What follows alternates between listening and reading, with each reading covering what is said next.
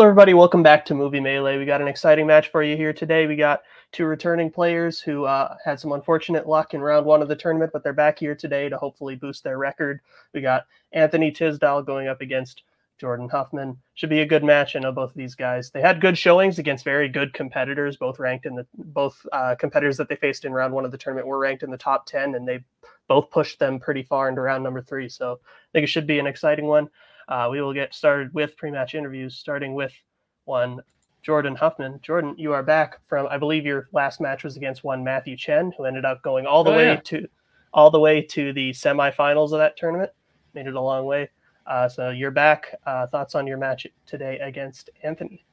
I'm excited. Uh, I don't think I've ever had a match against Anthony of any kind, so should be new, should be fun, and you know that's why I'm always here for. Just have fun and hopefully do good.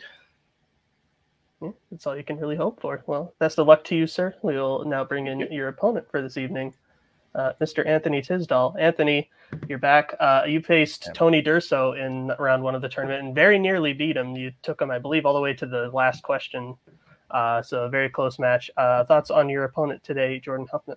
I, I, I don't. Yeah, I don't think we've ever played before. Uh, so I'll always look forward to playing somebody new. I've seen him. He seems like he's someone who's just here to have fun, which is usually what I'm here to do. I'm here to just show up, look like an asshole, and see what I know. So, uh, let's go for it. Let's do this.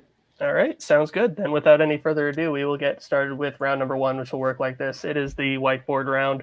Each player will get will be asked eight questions in eight different categories of movie trivia. If they get all eight questions correct, they will be asked a bonus question. And yes, each each question answered individually on the whiteboard. You know that you've watched these videos before. I'm sure. I'm sure we don't have any new viewers. Anyways, uh, we'll get started with your first question in round number one, which will come in the category of westerns. Paul Newman and Robert Redford co-star in what western? I guess I shouldn't say that. We have new viewers every day. Hello, new viewers. Hope you enjoy. Go. Five, four, three, two, one. Pens down, and we will start with Anthony Uh, Butch Cassidy and the Sundance Kid. and Jordan. Yep, Butch Cassidy and the Sundance Kid. Yeah, both are correct. That's a long ass title to break. I know. I was like, ah. So your next question will come in the category of actors and actresses. Kenneth Branagh, Ethan Hawke, and Laurence Olivier have all played what Shakespeare character? Not the biggest Shakespeare guy. I like some of his plays a lot, but you know, overall, not not actively searching out for new Shakespeare plays coming out. He's dead. I don't know why I said that. Five, four, three, two, one. Pens down. We'll go to Jordan first. you catch that new Shakespeare? uh, Hamlet. And uh, Anthony, Uh, Hamlet. both correct. Two to two. As we get into your next category, which will be the 2010s, what kind of creatures are Adam and Eve in Only Lovers Left Alive? I don't want to give any hints about this movie, but uh, I feel a certain type of way about it uh, and its director. I guess that's a very vague hint, but there you go. Five, four, I know someone Three, that might be very upset with two, you about that statement. one. Pens down. We'll go to Anthony Vampires. and Jordan. Nope. Vampires is correct. So Anthony takes the three to two lead there. So we get into your next question in the category of horror. What country is 199 or uh, sorry, what country is 1977's House set in? It's important that you get the year right there because there's a lot of movies called House actually Yeah. in the horror genre. A lot of them are quite good, including this one. Five, Yeah. four, three, two, It's a little nuts. one. That's true. Pens down. We will go to Jordan first. I'm not sure, so I went with England. And Anthony? Japan. Japan is correct. Ah. So your next question will come in the category of comedy. How does Buddy end up at the North Pole in Elf?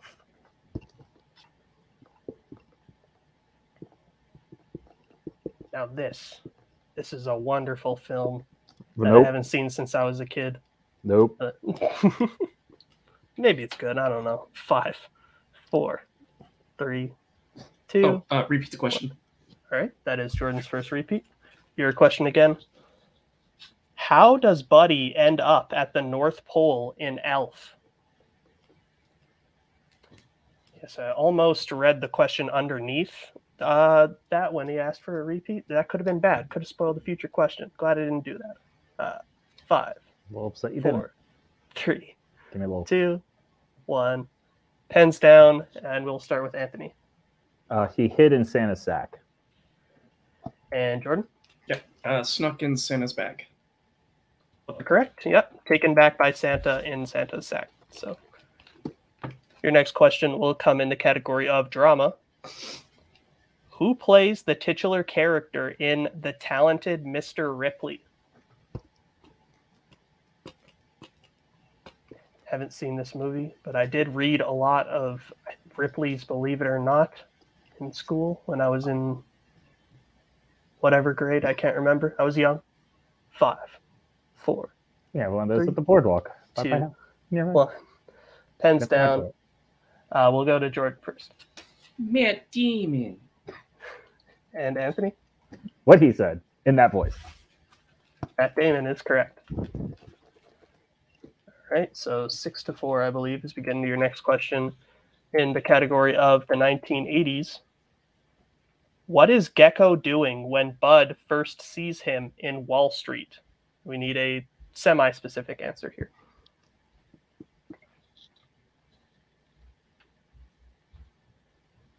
Yeah. Yeah, what a match so far. Good stuff. Oh, this has been almost. I don't know what to say I, I was working my way to a perfect game. Now I know which clue. Five, Oh, four, three, two, one. Pens down. I will go to Anthony That was fun while it lasted. Eating dinner. and Jordan. I know it's not right. Dancing. Uh, both incorrect. We're looking for giving a speech. Okay. So no perfect rounds today.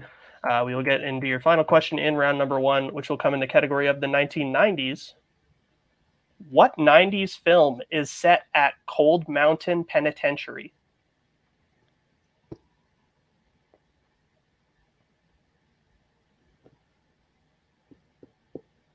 Yeah, I got Nope. nothing for this one. That's real dumb.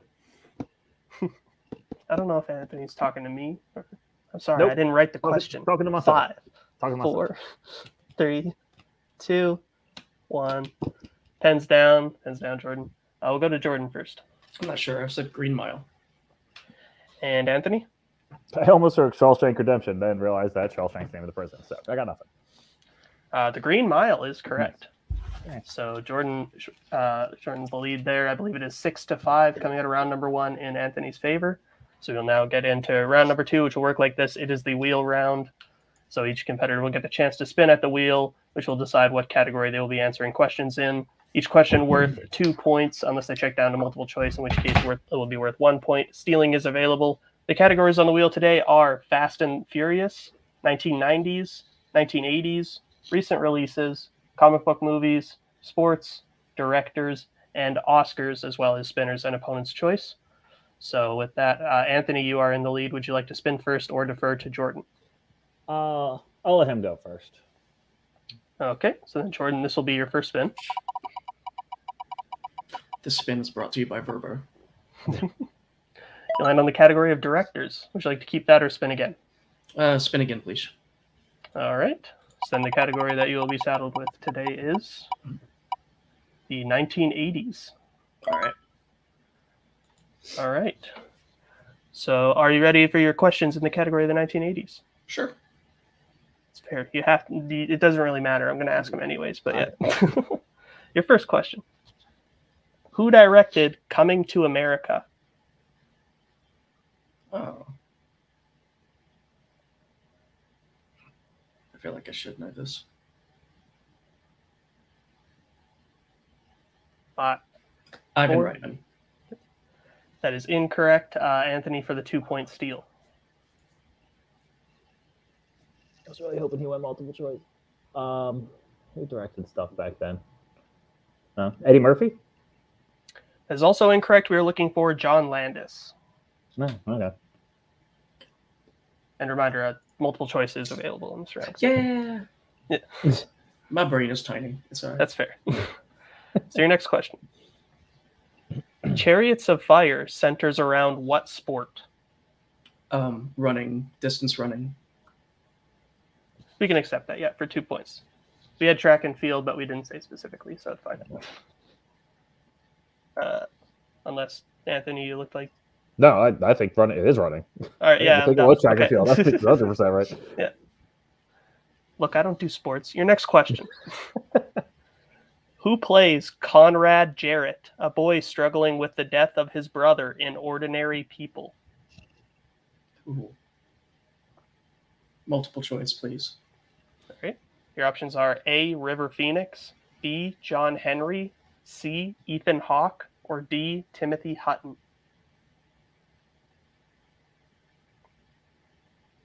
Could you repeat those one time? Your options again is it A. River Phoenix, B. John Henry, C. Ethan Hawke, or D. Timothy Hutton?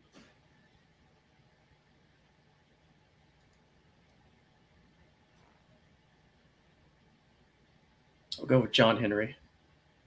Uh, that is incorrect. So, Anthony, for the one point steal, is it A. River Phoenix, B. John Henry, C. Ethan Hawke, or D. Timothy Hutton? I'm gonna guess Timothy Hutton. That is correct for the one point steal. Now, your penultimate question in this category, Jordan. What South American country is Romancing the Stone set in?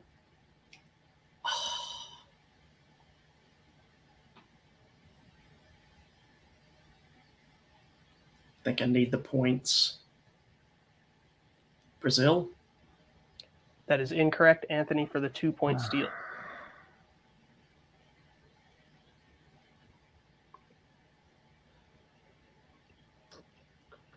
Chile. That is also incorrect. We're looking for Colombia. Ah, crap. So, so now your final question in this category. Oh, I got one more. Okay. In what 80s film does a movie character named Tom Baxter exit his film and enter the real world? Uh, multiple choice, please. Your options are A. Who Framed Roger Rabbit? B. Last Action Hero? C. The Purple Rose of Cairo? Or D. Tender Mercies? The Purple Rose of Cairo. That is correct for one point. So then I believe coming out of round number one, I have the score at Jordan in the lead eight to seven now. I was about to ask my co-host if that's what they have as well, but they're not here. So and we'll now bring it back the wheel In my mind, be- that's what for what will be Anthony's first spin. And it's a free respin. And on comic book movie, would you like to keep that or spin again? I think I got to keep it. There's too much on this wheel that I don't like. All right. Well, then I will be reading your first question in the category of comic book movies once I can find it in the document here. There it is. Okay. Your question. Armando Iannucci directed what 2018 graphic novel film starring Steve Buscemi?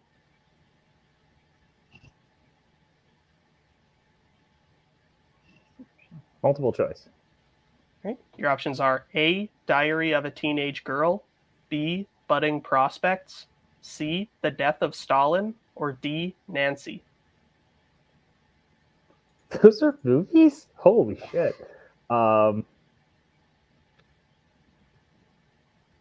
C.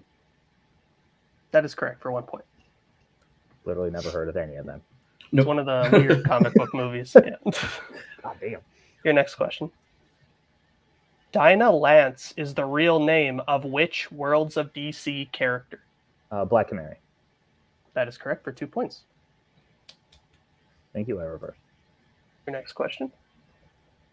Who voices Captain Haddock in The Adventures of Tintin?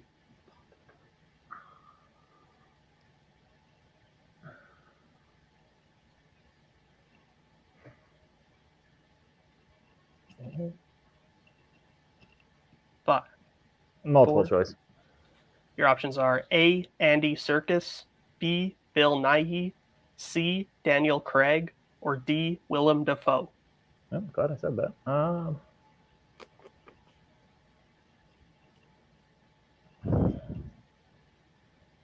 let's go B. B is incorrect. Uh, Jordan for the one point steal. Is it A. Andy Serkis, B. Bill Nighy, C. Daniel Craig, or D. Willem Dafoe? Daniel Craig. That is also incorrect. We're looking for A. Andy Serkis. Oh. Hmm. Okay. So your penultimate question in this category. In Big Hero 6, what is the name of the invention Hero contributes to the showcase, which is then stolen by the villain during the final fight or during the fire? Oh, ah. is this the right name? Nanobots? That is incorrect. Uh, for the two point steal, uh, Jordan. Never seen it. No answer. I don't know. Yeah. Okay. no guess. Uh, Anthony was very close. Uh, nanobots was actually one of the multiple choice options. We were looking for microbots, though. Oh, god damn it. Yes. So then your final question in this category. What is Eggsy's real first name in the Kingsman series? Oh, god damn it.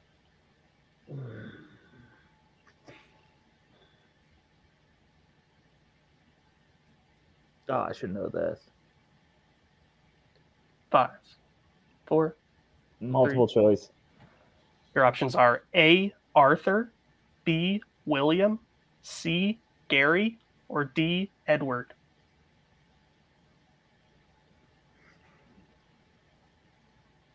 None of those were anything in my mind.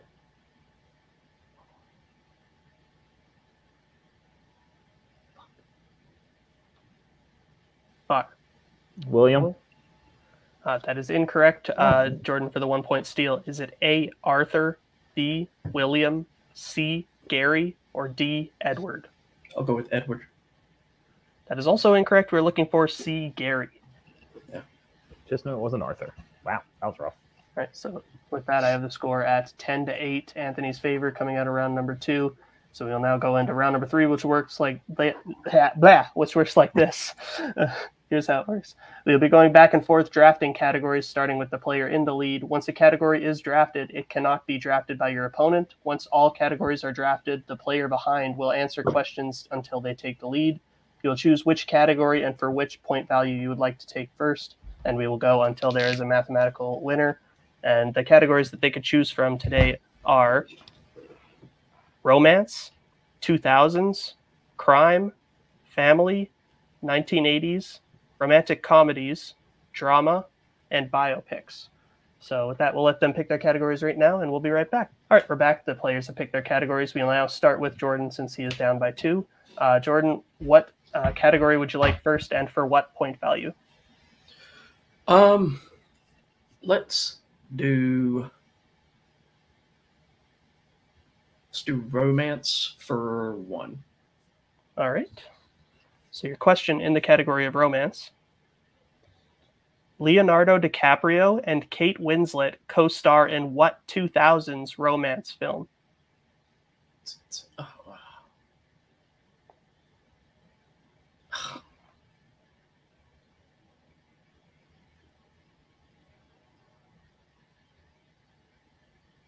Five, four, three, two. I can't remember what it's One. called. That is incorrect. We were looking for Revolutionary Road. Yeah. All right. So then we will stick with you. Uh, what category would you like, and for what point value? okay, let's do biopics for two. All right. Question in the category of biopics. Who plays the titular character in 2008's Milk? Um, Sean Penn. That is correct for two points. And the tie game. So now we'll go over to Anthony. Uh, what uh, category and for what point value? I'll do drama for one. All right. Your question. Who plays programming chief Diana Christensen in Network?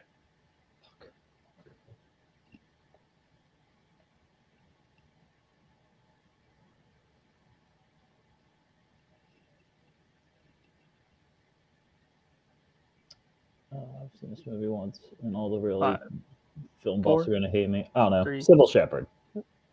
Uh, that is incorrect. We were looking for Faye Dunaway. No, that makes sense. All right. So I believe we will now uh, stick with Anthony since he has more categories remaining, but we are tied.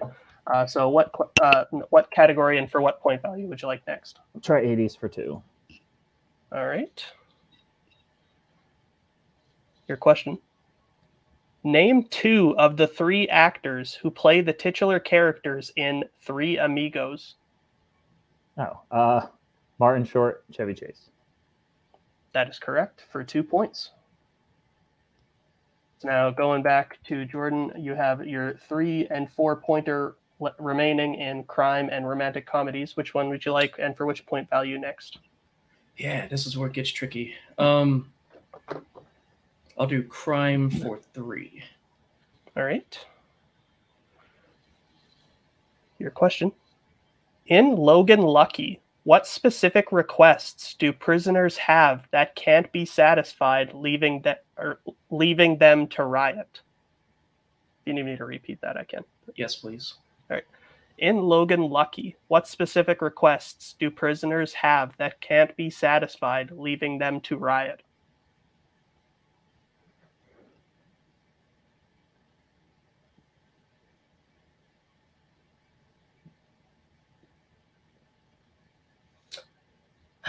It's another one of those movies that I'm kicking myself for never seen.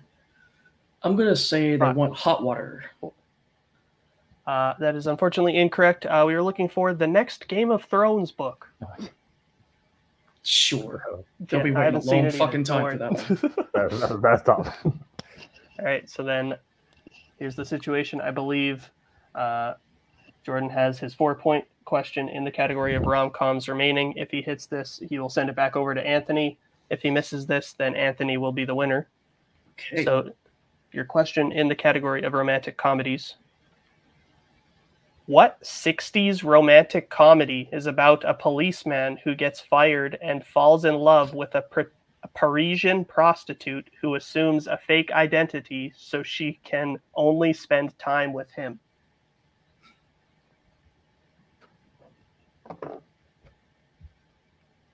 How many repeats do I have? I believe you have two remaining. All right. Five, four, three, two. Uh, let's uh, repeat that, please. All right. What 60s romantic comedy is about a policeman who gets fired and falls in love with a Parisian prostitute who assumes a fake identity so she can only spend time with him?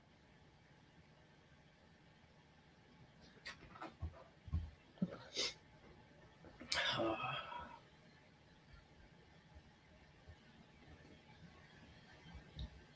Five, four, three, two. repeat it again, What? please.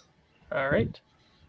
What 60s romantic comedy is about a policeman who gets fired and falls in love with a Parisian prostitute who assumes a fake identity so she can only spend time with him?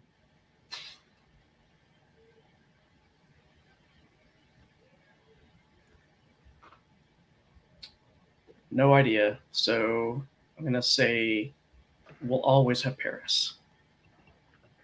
And your winner, Anthony Tisdall. Uh, unfortunately, we were looking for Billy Wilder's Irma La Douce. It's actually an okay film, uh, in my opinion, anyways. So we'll get into post match interviews now, starting with our unfortunate second place finisher, uh, Jordan Huffman. Jordan, uh, you put up a solid fight. Uh, both players, I feel like, stumbled a little bit in round number two, but it is what it is. Harder questions, I think, than you would expect from, you know, uh, a match that's like sub 500. So that was kind of on us on the riders. My bad. Uh, but it is what it is. I think he still put up a really good game today. Uh, thoughts on the match overall? Um, I mean, I didn't play very well. Anthony definitely deserved to win that. He he he played better, knew more about those general categories than I did. Uh, the ones that I didn't know were mostly movies that I've never seen, so I don't really have an excuse there. Um, the only one I'm kicking myself over is Revolutionary Road. I, I should have known that it was it was in the back of my head, and I just couldn't pull it. But I don't think that would have really made a difference. Um, so hats off to Anthony. Um, first time we played, and he got the victory. I'm still looking forward to coming back next time. Hopefully, doing a lot better. Yeah, that's fair. I believe this ends off uh, your season for 2023. But when you do come back next year, uh, is there anyone that you'd be willing to play, or just anybody? Uh, anybody that's got a similar record to me. That's pretty much what I always say. Just anybody that's kind of in the same boat. As showrunners, we like that answer. It makes it easy for us. All right. No well, thank, thank you for coming out today. I will put you backstage for now. We'll bring in our uh, winner today, Anthony Tisdall. Anthony, really solid performance. Uh, six in round number one, very very solid. Like six right right out the front. Like looked like you were almost going to get the perfect round there. Mm. Had a bit a bit of stumbles toward the end, but you were able to get the victory. Thoughts on your performance overall? Yeah, round one I was happy with. Uh, six in a row. I was like, oh, am I going to get it perfect? Then it just immediately dropped off the face of the earth uh, for a while. I'm a little, little unhappy with my comic book performance, but that first one was absurd. Never heard that. Never saw Tintin, and I just messed up the Kingsman question. But uh, no, he he played well. Like he he got a 80s. I don't think that was really his uh, category, but he did well. He hit when he those, those two last ones are tough, and I was glad I didn't have to try to hit a three or four in uh, 2000 family. Would have been tough, but you know, a win is nice. Uh, I feel like I'm always right on the edge, right on the cusp in most of my matches. I always make it to like the final question and then lose. And uh, but hey, nice to get nice to get another check mark at the W column on this one. Yeah, that's fair. Well, with that, uh, I believe you get your record now to one below 500. Uh, I believe this is the end of your season uh, for 2023 as well. Uh, but when you return next season, again, who would you like to face, or just well, anybody? I can't say Koho anymore because he doesn't play, and please God, not Tony Durso again for the eighth this time. I don't know. Uh, like Jacoby probably be fun, or Aru. Uh, you know, I feel like they would be entertaining. I don't know where the records are, but you know, I, I like them. I've hung out with them. I feel like playing them would be good, and I'll just have to start watching Wizard World shit for them. Fine. Uh, no, no, promises, obviously. Uh, obviously. I don't know about Rue, but uh, Jacoby actually sounds like it could happen. So be fun. Maybe, but we'll put you backstage for now. Congrats. Uh, and I will end this off with my usual uh, awkward ass outro. Thank you all for watching uh, yeah, thank you to the writers, showrunners, uh, blah, blah, blah. I'm going to find the end video here. See ya. Goodbye.